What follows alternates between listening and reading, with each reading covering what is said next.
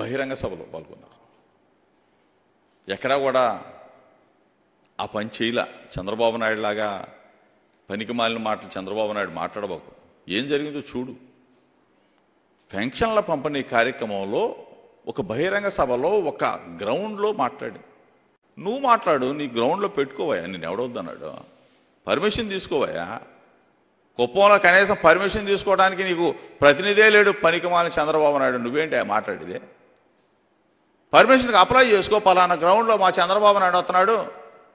సంక్రాంతి కానుకలో లేదా గడిది గుడ్డు కానుకలో గరం మసాలాను పంచుతాం రండి. పప్పు బెల్లాలు ఇస్తాం లేకపోతే అని చెప్పండి. మీ మొహం చూసి ఎవడవుతాడు చంద్రబాబు నాయుడు? అదే అందుకనే కదా చంద్రబాబు నాయుడు మొహం చూసి ఎవడో రాడనే. చంద్రన్ కానుక సంక్రాంతి కానుక తోఫా తొక్క ఇవన్నీ ఇస్తా ఉన్నారు. అందుకని చంద్రబాబు నాయుడు కోసం. లేకపోతే ఎవడొస్తాడు చంద్రబాబు నాయుడు మొహం చూస్తాను ఎవడన్నా వస్తాడా?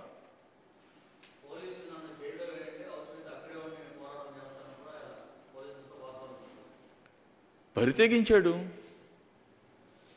బరితెగించిన వ్యక్తి అతను. అతను వయసు పెరిగింది కానీ బుద్ధి మందగించింది.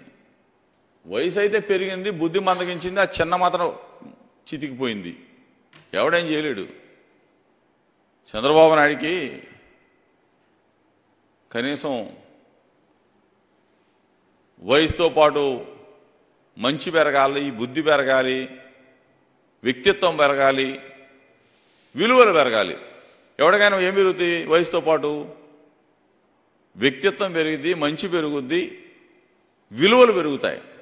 ఈ చంద్రబాబు నాయుడికి వయసు ఏం పెరుగుతూ ఉంది?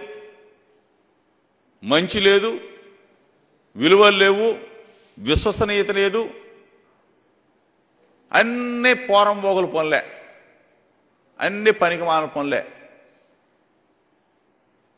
అక్కడి నుంచి చూసుకుంటే ఆ ఎన్టీ రామారావు గారి దగ్గర నుంచి చూసుకుంటే అందరినీ పొట్టన పెట్టుకుంటానే వచ్చాడు. నిన్న గుంటూరులో చచ్చిపోయిన పాపం ముగ్గురు వరకు. గోదావరి పుష్కాల్లో ఇరవై తొమ్మిది మందిని పొట్టన పెట్టుకున్నాడు. కందుకూరులో ఎనిమిది మందిని పొట్టను పెట్టుకున్నాడు. నిన్న చూస్తేనేమో గుంటూరులో ముగ్గురిని. మొత్తంగా చూస్తే నలభై మందిని పొట్టను పెట్టుకున్నాడు. ఈ ఫార్టీ ఇయర్స్ ఇండస్ట్రీ. అందరికీ నమస్కారం.